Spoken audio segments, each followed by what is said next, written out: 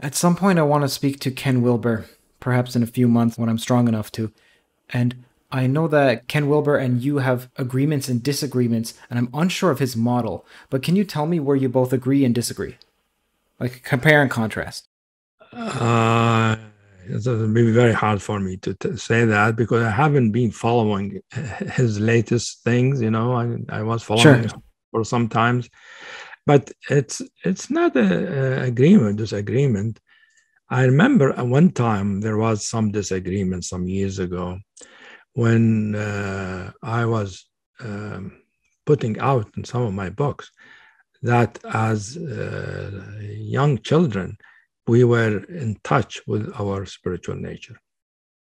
And he disagreed with that. He thought, no, children oh. are like monsters. They're not in touch with the spiritual nature. and I said, yes, well, they, they can be monsters, but also they can be beautiful and wonderful and joyful and innocent and all of that. And these are spiritual qualities. That was, you know, this agreement we had at that time. And um, I don't know at the present time. I mean, he he is more of a, a philosopher, of a systematizer of uh, of you know of ways of experience and knowing and life and all of that. And he's much more that way than I, I am. And I'm not engaged in things the same way he is. I think Ken will agree with me that self-reflection is a stage of development of humanity, and there is other stages like uh, immediate knowing.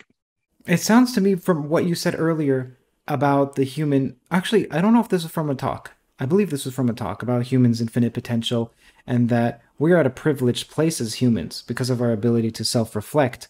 And who else would know God if there were no humans? Let's assume that there are no other highly intelligent living yeah, creatures yeah, and so on. But that statement seems to agree with what Ken said. The reason is that if we go back to childhood, we have less self reflective capabilities. Some people may say, much like you had the disagreement, that children can be closer to God in some ways. But then if we take that further, the less reflective cognitive capabilities that we have, the more we're like the worms and the beetles and so on. So the fact that we would say, or the fact that you said in the Human Infinite Potential conference or talk, that we're at a privileged place seems to to me to indicate that actually yes we're somehow somewhere higher on the spiritual development scale than children so that's why i'm saying that it sounds to me like you actually agree with ken from what i understood of your lessons in that other lecture am well, i understanding that incorrectly but but you're you're you're putting two things together that uh, i don't do which you're talking about self self-reflective capacity which is true. It's a development that human human being had, and we don't have it as little babies. We don't have self-reflection. However, when you are in a realized place, the most realized uh, condition is not self-reflective. Does not reflect on itself, because when it reflects itself, there's nothing there. It, uh, it can only look forward. But uh, the point I want to say is that when I say children are in touch with spirituality, I don't mean they're self reflective. I mean their being. When, when they're happy, they are really happy. You see, the happiness is pure. And sometimes they're happy for no reason, they're just gurgling. And for me, that is a spiritual quality. They might not know it, they might not know they're happy.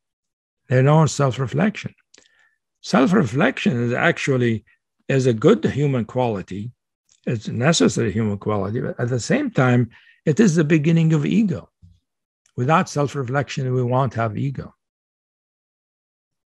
You see, and self reflection is is important for spiritual practice in general, or even for inquiry. The way I do it, we do need to have self reflection, but. Um, self-reflection is one capacity that consciousness has.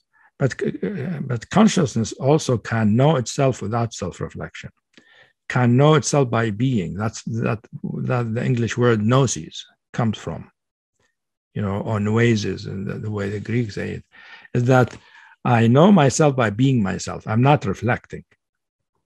It's like I'm in, in, in expanse, a medium of consciousness. And this medium aware of itself at all points of itself. And it is this medium is speaking to you. So it doesn't need to reflect on itself. It sees through itself. It's a ho- the whole medium is is not just within my body; it's outside my body too.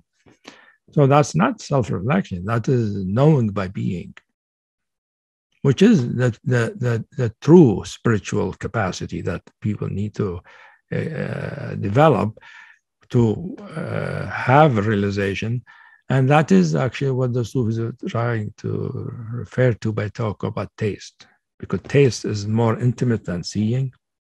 Taste something, it's it's, it's you know inside or, taste or or touch.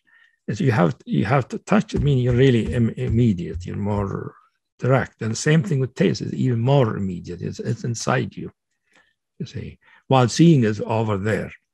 You see, so immediacy is a very important part of spiritual all spiritual uh, experiences there's no immediacy of experience which means no it's beyond self-reflection it is not a spiritual experience yet